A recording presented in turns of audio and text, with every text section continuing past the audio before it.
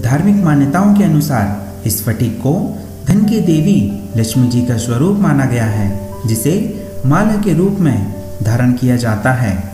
स्फटिक निर्मल, रंगहीन, पारदर्शी और शीत प्रभाव करने वाला उपरत्न है। आयुर्वेद में स्फटिक का प्रयोग सभी प्रकार के ज्वर, पित्त प्रकोप, शारीरिक दुर्बलता एवं रक्त विकारों को दूर करने के लिए, शहद अथवा गौमूत्र के साथ औषधि के रूप में किया जाता है।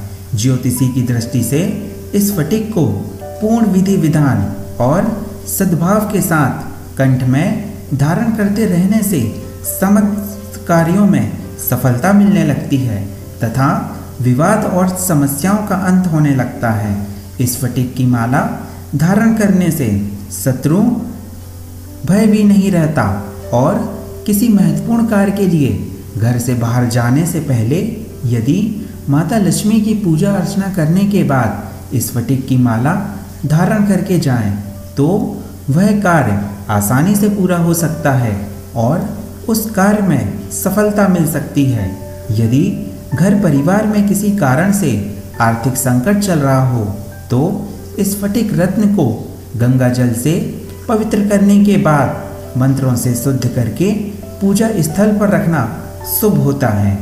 व्यापारिक प्रतिष्ठानों और दुकानों के स्वामी, यदि पवित्र एवं मंत्रों से सिद्ध की गई स्फटिक की माला अथवा स्फटिक रत्न को अपनी धन रखने की तिजोरी में रखें तो आश्चर्यजनक रूप से व्यापार में लाभ मिलने की संभावनाएँ बढ़ जाती हैं। यह उपाय करता, करते समय इतना अवश्य ध्यान रखना चाहिए कि जिस तिजोरी में स्फटिक अथवा रत्न रखा जाए, उसका दरवाज़ा उत्तर दिशा में खुले। वास्तुशास्त्र के अनुसार, धन रखने की तिजोरी सदैव दक्षिण दिशा में ही रखनी चाहिए, जिस, जिससे कि जब उसे खोला जाए तो उसका दरवाज़ा उत्तर दिशा में ही खुले।